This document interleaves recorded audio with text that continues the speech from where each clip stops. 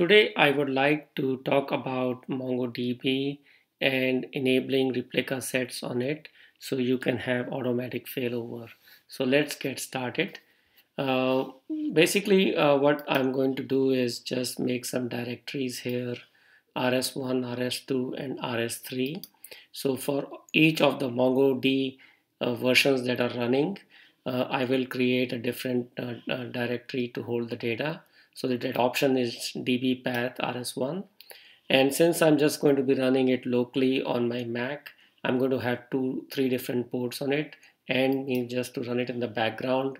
I have three different log files for each of them. And the only other thing you have to do to make it a replica set, at least when you start this, is to have a name for it. So I'm going to just give it a name of Yogi. So this is all the commands I have in the shell and uh, let me just uh, run those commands. So it is and as you can see if I do a ps minus ef grep mongod my uh, replica set mongod versions are not running.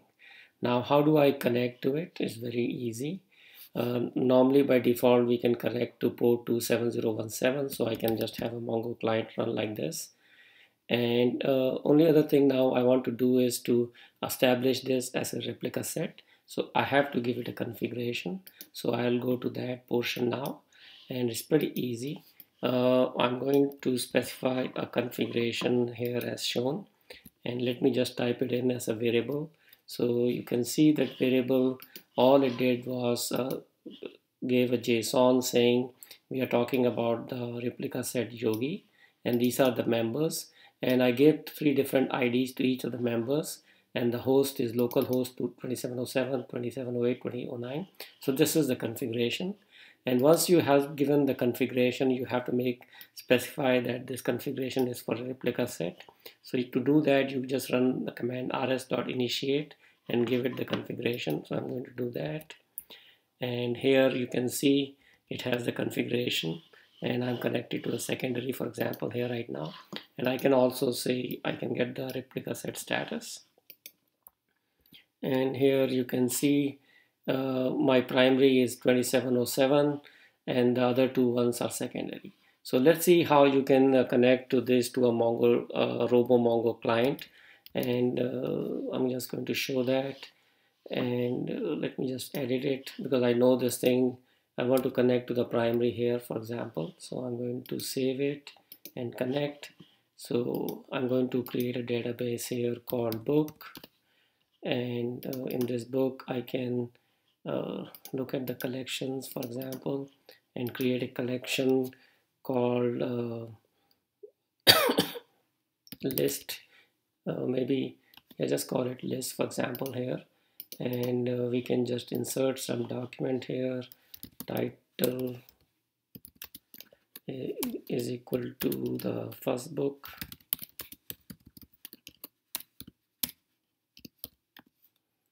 And author is yogi for example and we can validate that it is correct json and just save it. And we can look at this document and as you can see we got one document here and it's connecting. So that's all good so what I'm going to do is just exit RoboMongo for now and uh, this is the way you can connect to that. So let me also demonstrate how you can see the failover from primary to secondary. So I'm going to do ps minus ef uh, back and see my Mongo uh, D versions running and I'm going to kill the primary which is the I know because it's port 27017 so it's going to be kill 33 626 so I will uh, just kill the primary. So once I've killed the primary we can again check the status and see it's gone. So we only have two of them. Now how do I connect to this thing? Because if I just try to connect to it as a Mongo client it's going to fail because it's trying to connect to the right port. So to connect to the replica set uh, typically what you want to do is uh, just have a command like this which is very straightforward. It says mongo dash dash host. This is the name of the replica set and a slash and then I list the host and the port. So I am going to try to connect to this and see if it works. And if I do you can say it is already connected and everything is good. And we can check the replica uh, stat status. See it is elected 27019 as the primary.